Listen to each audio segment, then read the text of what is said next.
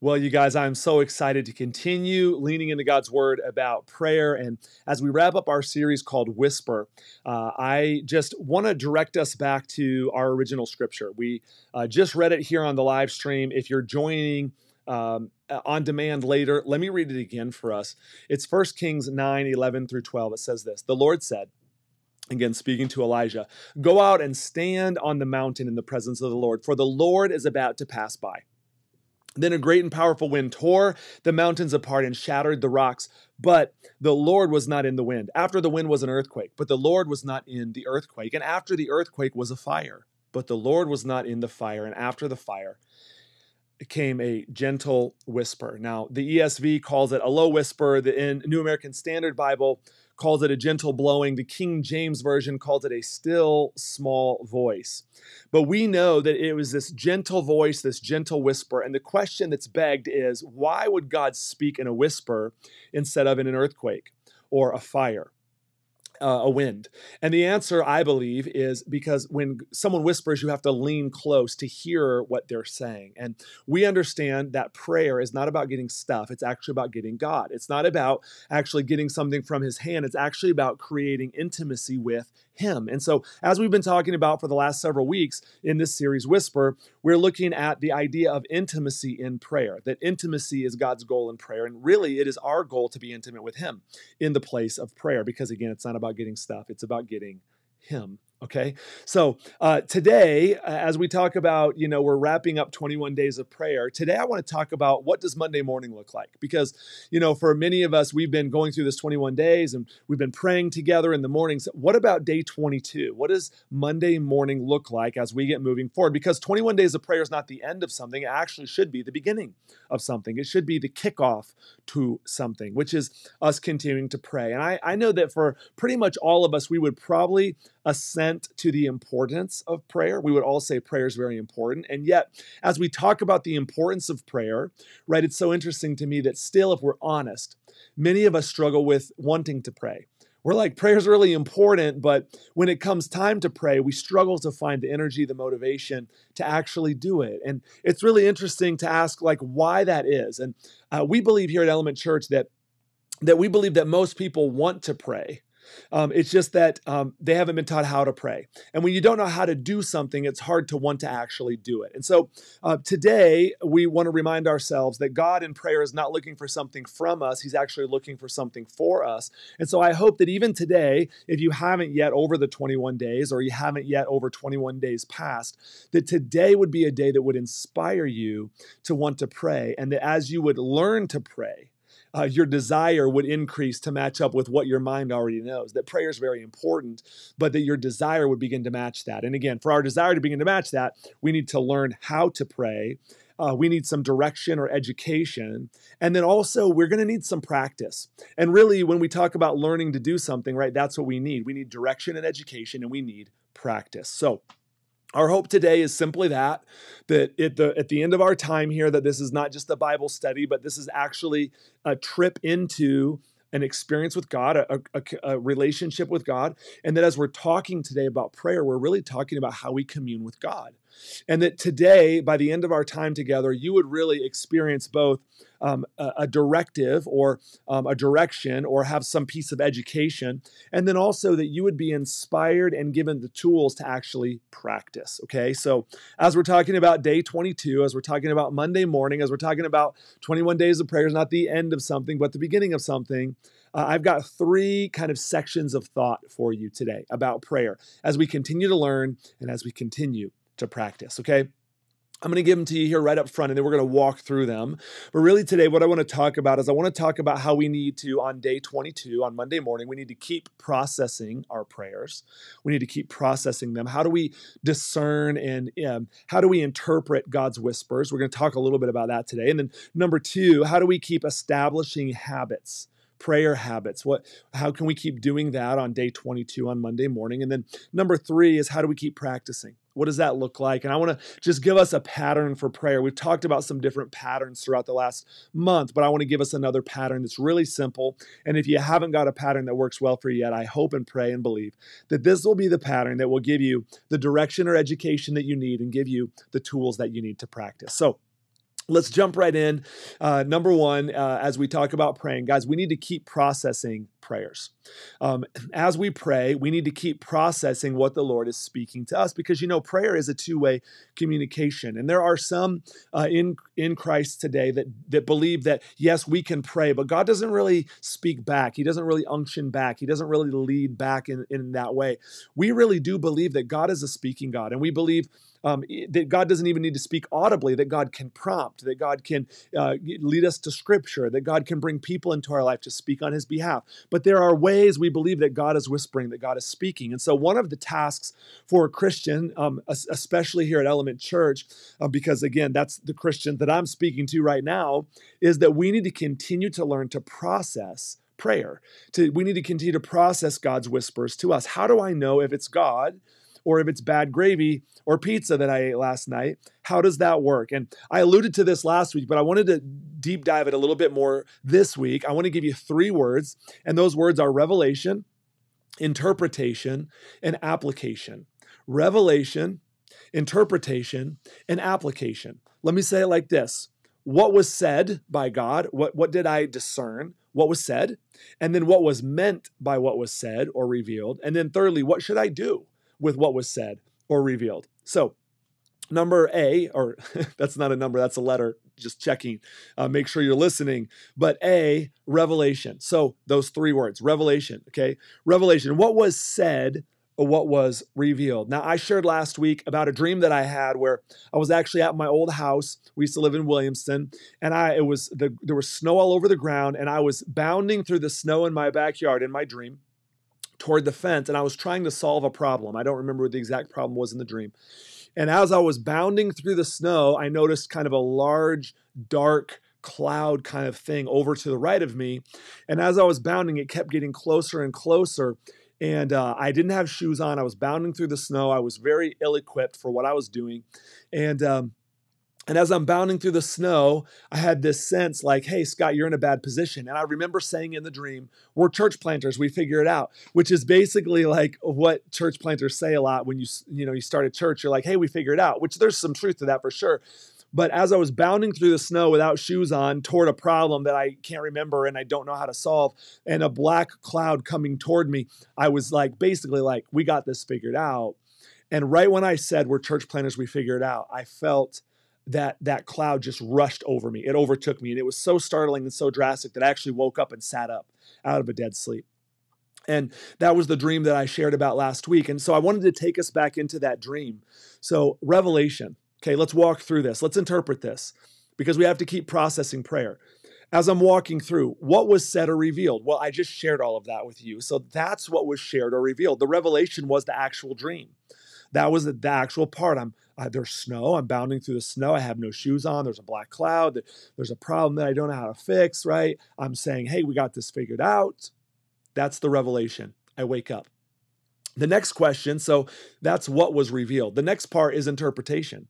What was meant by what was revealed? Now, it's interesting because you could have taken that dream in a whole lot of directions um, there's a lot of things that you could interpret out of that dream. And we talked actually about languages that God uses to speak in. We actually talked about that last week, and we talked about the Bible as the Rosetta Stone, uh, which is the fundamental way that we interpret what God is speaking and whispering to us, which is the Scripture. That is the number one way that God speaks to us, and also the number one filter that we use to uh, to understand the other languages that God is speaking to us. If you want more on that, you can go back and listen to that last week. It's on all of our media platforms, on our app, which you should download, and it's all for free.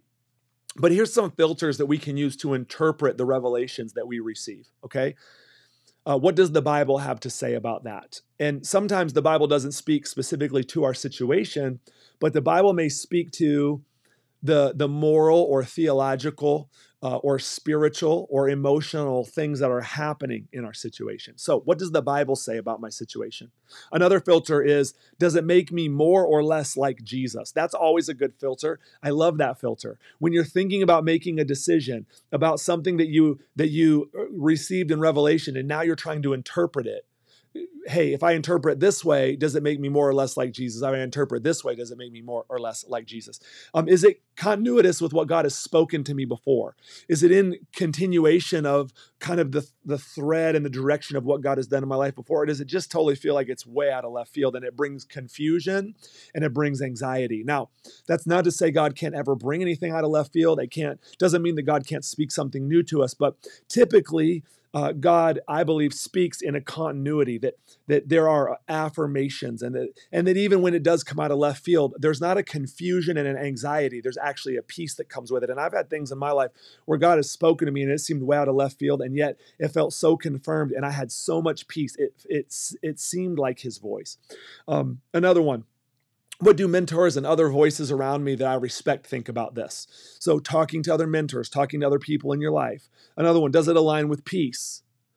Do I have a peace about it, or am I into that confusion? The Bible says God is not the author of confusion. And then, uh, and then, does it align with the fruit of the Spirit?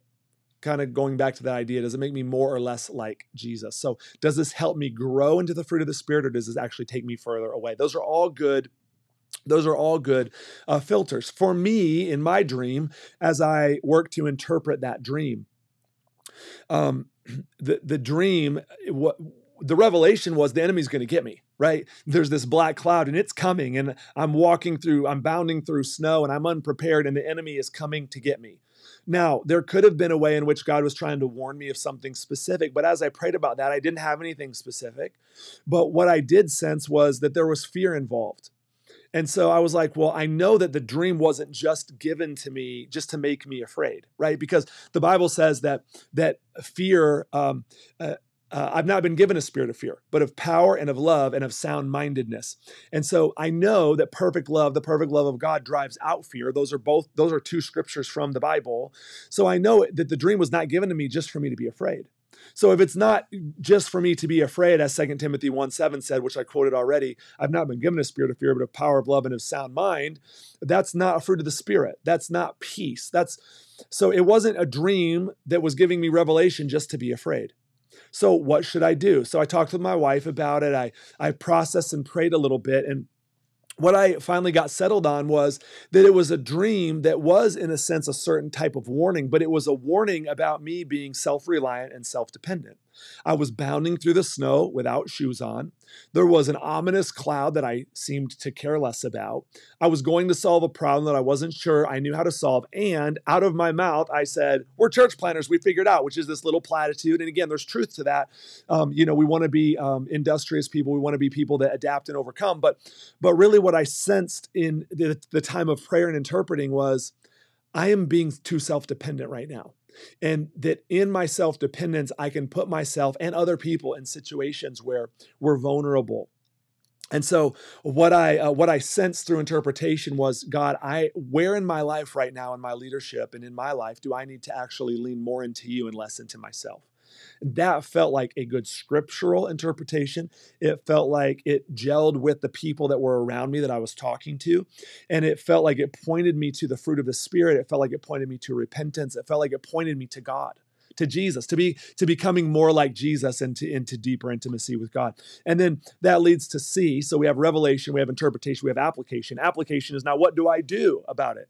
So uh, I want to remind us that proper revelation and interpretation, so you can get the first two right, that does not necessarily dictate clear application.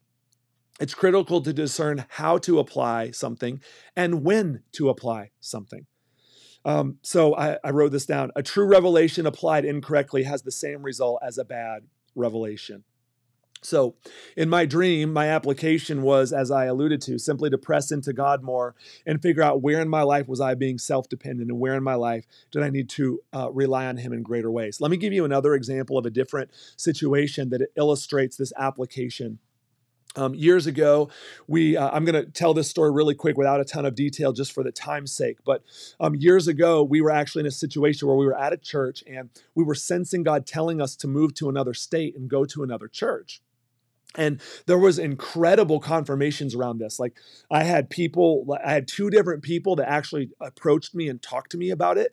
Um, i was on a trip at the time. When i got home i walked in the door and i was like sensing like oh my goodness i have to talk to my wife about potentially moving because i'm really sensing this stirring. And our daughter at the time who was seven asked me if we were moving to that state within 10 minutes of me walking through the door, totally unprompted. It was, you guys, it was crazy. There was so much stuff that was being confirmed. My parents um, text me that, like the next day, they were looking for property, uh, potentially to buy a house in the in the town that we were talking about, uh, sensing God speaking into us to move to. But it was totally unrelated. They didn't know anything about what we were talking about. So it was over and over and over again. And so that was the revelation was God was stirring something up and it was coming up over and over and over again. It was very powerful. And as that was what was said, that was what was being revealed. And then as we began to interpret it, it sure seemed like the clear interpretation was we were supposed to move and go to this other church. But as we began to get into application and we began to talk about moving, it, we, we were willing to take uh, you know, an adventurous step and go out and do it. But we we just couldn't quite get settled. And again, leaving out a lot of detail, what we ended up doing was through the process of revelation and then interpreting and trying to figure out application through that process. We felt like the Lord confirmed in us that we weren't supposed to move to that other place and to that other church in that other state, but that we were actually supposed to take what was happening in that other place and bring it back here. And now what's really interesting, right, is you go, well, how did you get there from from moving? And I could walk you through all of the application points of how that happened, but here's what God confirmed in our hearts at the back end of the process. We would have never received the additional revelations and the additional interpretation and the additional application that we did receive if we wouldn't have walked through the process of really believing that God was potentially asking us to move. And so, what I want you to see is that there are times when we receive a revelation that seems pretty black and white. But as we go into interpretation, and then especially as we move into application, we realize, God, what exactly are you doing here in this? Now, uh, just to close this out, I'll give you another example recently where my son came to me and said, I sense God is prompting me to this. And I wasn't even really sure about it at first. Um, and I went back to this example that I just shared with you. I was like, maybe God isn't speaking for you to do this, son. Maybe He's just wanting you to go on a process of interpreting. So we went on a process of interpreting together. And what we realized is that God was indeed speaking that. That was really our sense of it. We fasted, we prayed, and through interpretation and application, we made the move. So, you guys, there's a lot here. There's learning His voice, and I understand that this is a process. But that's what we're supposed to be doing is learning and then practicing because we need to keep processing prayer. And again, remember, we have the scripture, we have the Holy Spirit on the inside of us. Does it make me uh, closer or further away from Jesus? Is, is it consistent with the fruit of the Spirit? Do I have peace about it? What do the mentors in my life say about this? And we process through revelation, interpretation, and application. Now, I want to, before I move to point two, I want to just throw this last little note out. What do we do when we need to make a decision and we just aren't sure? Now, this is assuming that we've gone through a scriptural filter, that this isn't something in violation to God's word, right? Morally, emotionally, uh, otherwise, right? Theologically. But what about, like, you know, a situation where there's two good decisions in front of us. We've prayed, we've sought counsel, and we're just not sure, but the deadline for that decision is coming down the pike. We've got to make a decision. And I will tell you that there have been a few times in my life where I've been forced to make a decision and I did not know exactly what the Lord wanted me to do. I didn't have a sense about that I actually still felt unsettled about it. And this is what I did. And maybe there's other ways to handle this moment, but for me, this is the way that I have found handling it. What I do is I remind myself and remind God, God, there's these two decisions in front of me, or there's this decision in front of me. I want to make the decision that is pleasing to you. So I start in a posture of surrender and I start in a posture of obedience to God. And I say, God, I, I want to do this right. I want to follow you. I, I want to make the right decision in your eyes. And so, God, I'm reminding myself and I'm reminding you, God, I'm submitted to you. I'm obedient to you. God, I want to make this decision in your leadership, in your guiding, in your perfect will. God, I want to do this the right way. I think that's really important to stay in that posture. The second thing that I do is I remind myself and I remind God that there's a timeline that's coming. Hey, God, you know this, but I've got to make a decision on this date, whatever it is. You know, I got to make a decision on that date at this time, and I got to make a decision and I got to move. And then I remind myself and I remind God again, I'm not really reminding Him, but just praying this out in a, in a place of prayer. I communicate the decision that I'm going to make unless there's further clarity from Him. And I just say, God, I want to make this in surrender and obedience. Um, God, you know that the timeline is coming. And God, here's the decision that I'm planning to make. God, unless you give me something else that's clear, something else that you want me to know, God, this is the decision that I'm going to make. And then, um, Lastly, I communicate God's permission to redirect me if I make a decision that isn't in line with what He wants. And then, guys, and then I make the decision and I go and I move because here's the thing sometimes God has a a perfect will, a, a, perfect decision for us to make. And sometimes I believe that both of our decisions are in the permissible will of God. It's, God is like, hey, I'm good with either decision. It's okay. And I and I really do believe this. If we make those decisions in prayer and communication with God, in a posture of surrender and humility and honoring Him and asking Him to direct and guide us, I believe even if we make the wrong decision, um, that He can direct us and get us back on the right path. So that's been helpful for me. I hope that's helpful for, for somebody out, out there. Um, number two, uh, let's move to number two, and I'm going to move through these a little bit quicker, but we need to keep establishing prayer habits. And I'm going to give you three quick things the priority of prayer, the place of prayer, and the plan of prayer. Uh, here's the reality, you guys habits eat willpower for breakfast. And for many of us, we want to pray. We want to be people of prayer, but we try to be inspired into that or we, we try to have willpower into that. And the reality is that habits will eat willpower for breakfast every single time. And planning to failing to plan is planning to fail. I know that sounds like a cat poster, but um, but in, in any area of our life, our, our budgeting, our marriages, cleaning our bathrooms, working out, being physically active, if we don't have a plan and we don't set habits in place, our willpower is going to fail us every single time. So here's what we need to do.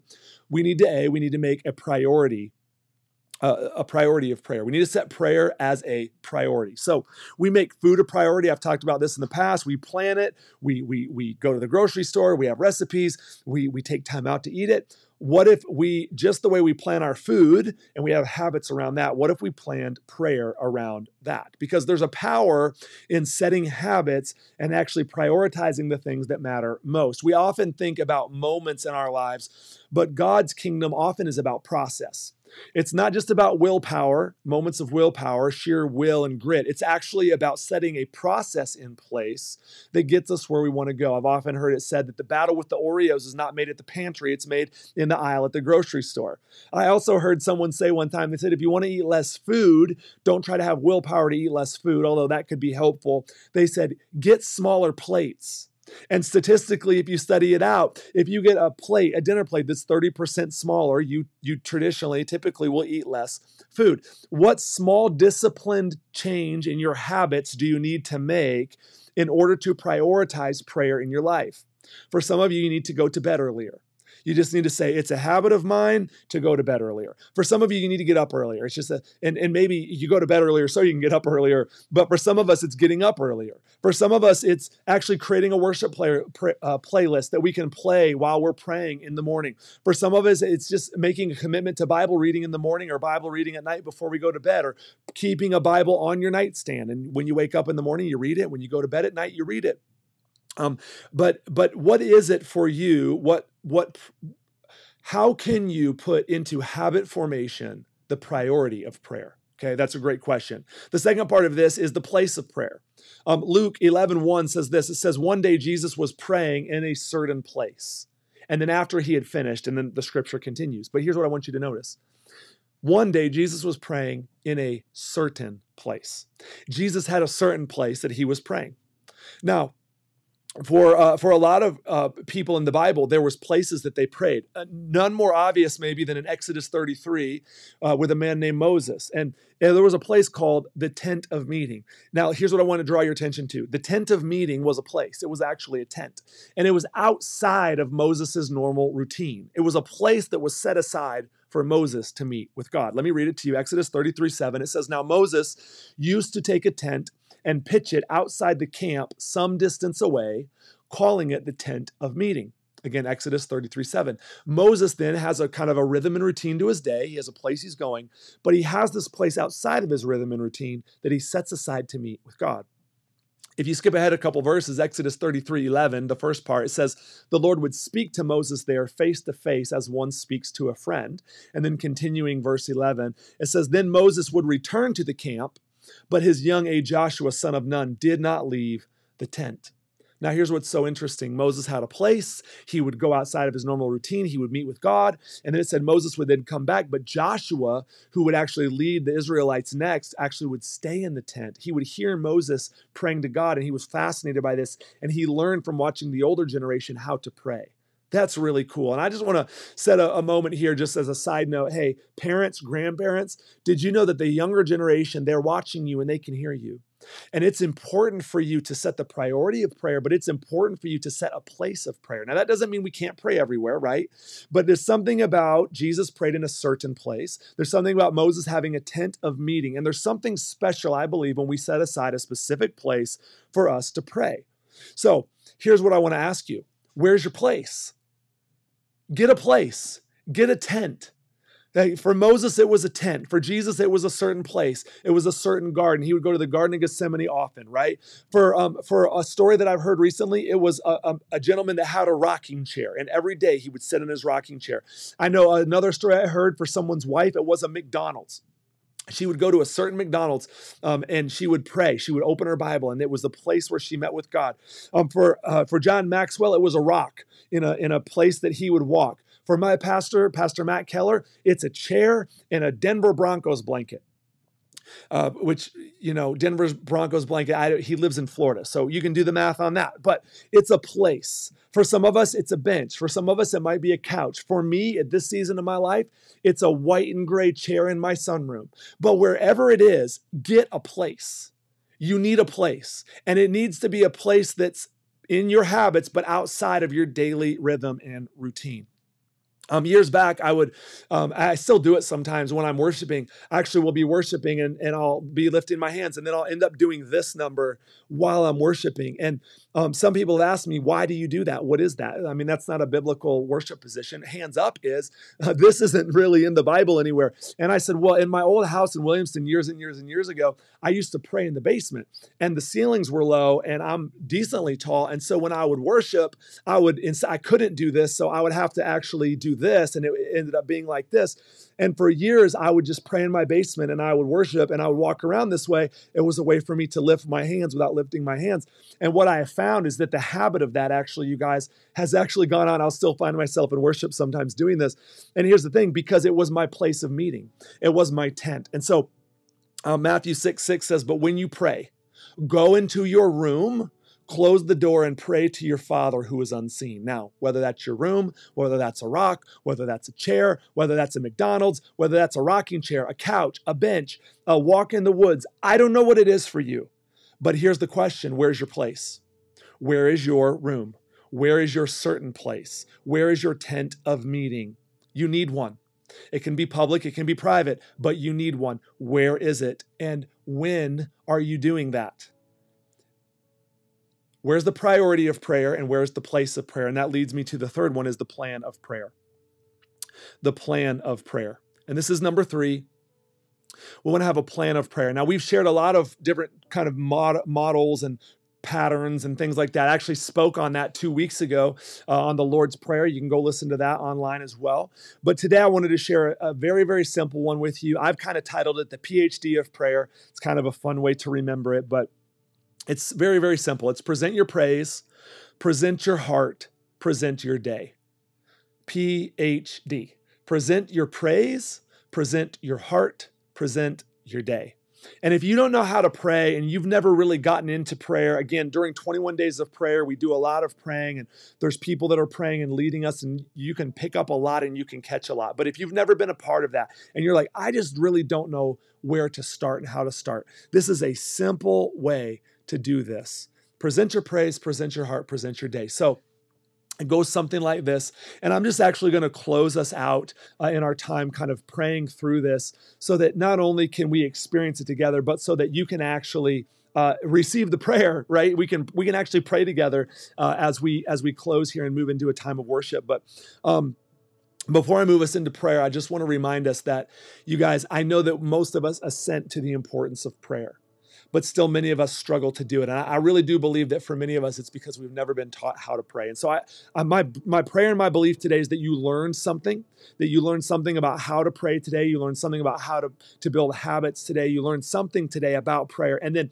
also today that you would continue to practice and that you would learn some things today that can help you practice prayer. Because we believe in prayer, God doesn't want something from us, He wants something for us. And prayer is not about getting something from God specifically from his hand, it's actually about getting him, getting intimacy with him. And so, as he's whispering to us, guys, we're going to continue to be a church of prayer. Let me close us in, uh, leading through the PhD of prayer this morning. And I'm actually just going to kind of pray in the first person and, and just uh, talk to God, and you just do it right along with me. You can just do it with me, and uh, and we're going to pray here together as we close for this morning. So, Father, we thank you for this morning. And God, we come to you and first we just present our praise. God, we we praise you and we worship you. God, you are the creator of all things.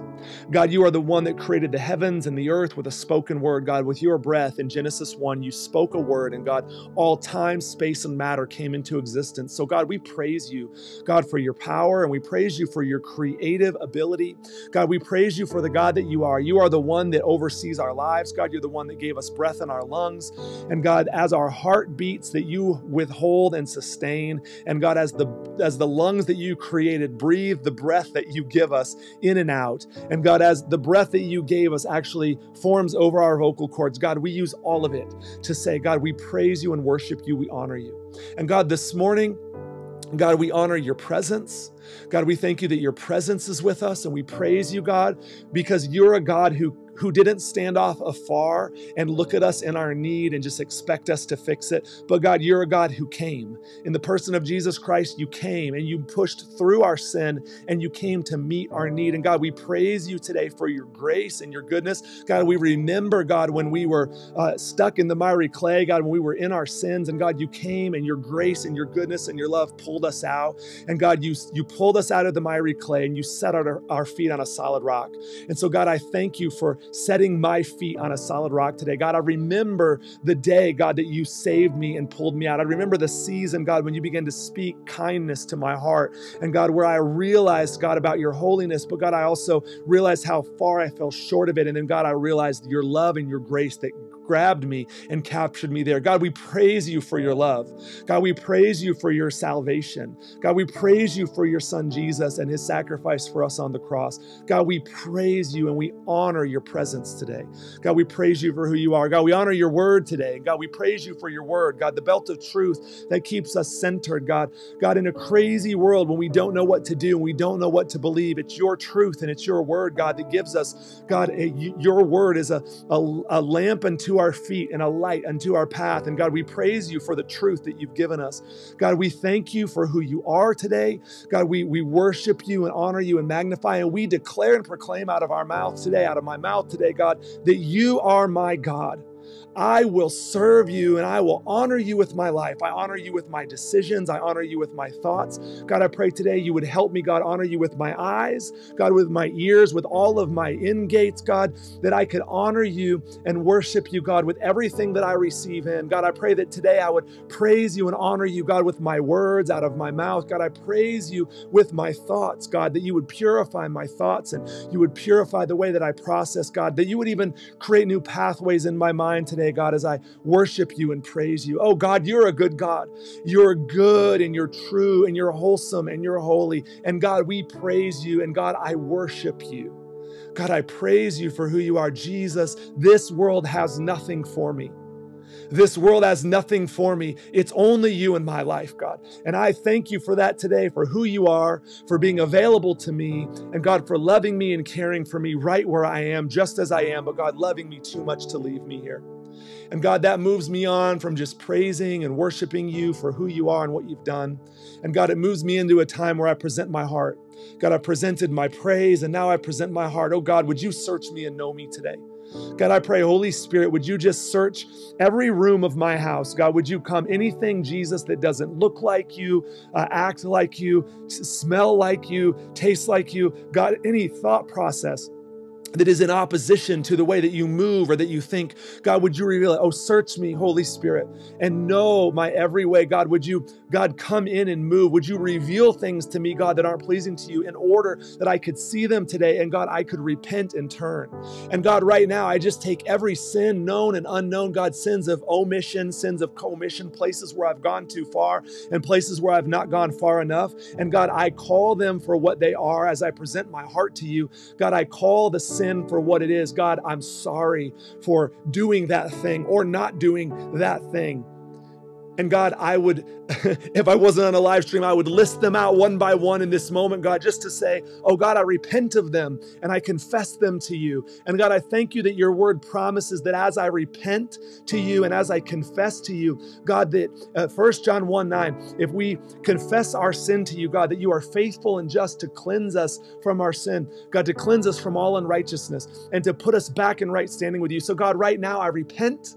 God, I confess of all of my sin, known and unknown. And then, God, I ask you to come in and to replace in me, God, the broken places with your power. God, would you empower me to live a holy life? Because, Jesus, Holy Spirit, without you, I can't do any better. I can't do this on my own. So I ask you to come in. And as I present my heart to you, and as I open myself up to you, I ask you to come in and to do your work in me.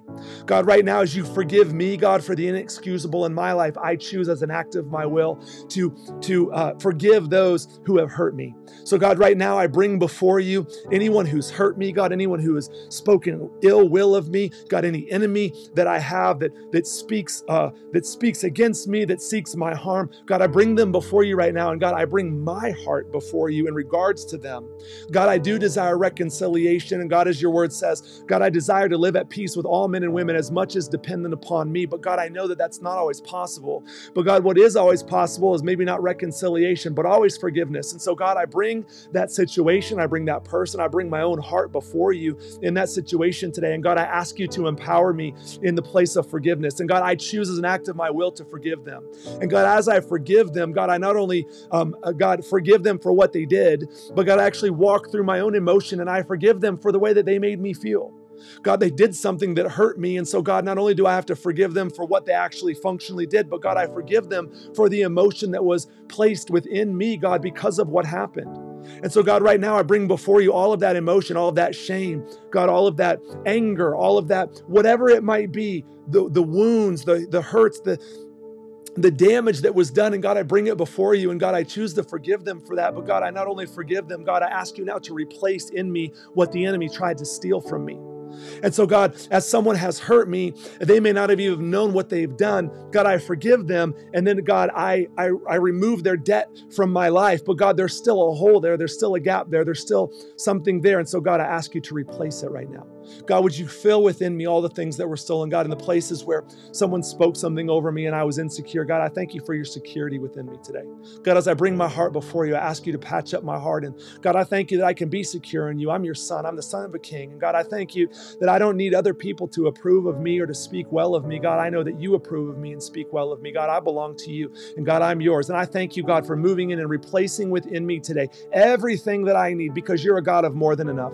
So I receive from you right now all that the enemy tried to steal. And God, I receive back from you in those places. And God, as I've presented my praise to you and I've presented my heart, God, today I present my day. God, I thank you that this is an amazing Sunday. And God, I thank you today that we'll get to go out and love uh, as college students today, God, from 4 to 8 p.m. tonight. And God, we'll get to share hope and love and grace. And God, I pray that you would speak to our team, God, that you would just begin to give us uh, discernment, God, that we could sense and see people, God, beyond what's in the natural, that we wouldn't just see people um, in the physical, but God, we'd be able to see beyond the veil and see where they're hurting, where they're struggling, where they're broken. And we would be able, God, to bring your words and minister to them in that place. God, I thank you for my family today. God, I thank you for my wife today. God, I thank you for my three children today. God, I thank you for our finances today that, God, you meet every need that we have. God, as, we, as, as I'm presenting my day, God, I thank you that you are meeting every financial need that we have. You're a God of more than enough. You're the God who owns a cattle on a thousand hills. God, in heaven, pavement is made of gold. So, God, I thank you that this is not a problem for you, that you, you in Christ Jesus, you meet all of my needs according to your riches and glory. And so, God, I thank you for that as I present my day to you and my list to you. And God, if I wasn't on a live stream, I would continue to just make requests and petitions to you. And God, I would specifically ask you for the things that I need. Give us today our daily bread. And so, God, I thank you today that as we're closing up this time together, God, we've been able to present our praise, to present our heart, and to present our day. And we thank you for that, God. And we ask that you would continue to help us stay in a spirit of prayer as we move into a time of worship. God, we thank you for your goodness. We thank you for your love. In Jesus' name we pray. Amen. Amen, you guys. Present your praise, present your heart, present your day. Let's continue to pray into a time of worship this morning. Have an amazing Sunday. We love you so much, and we'll see you back here next week.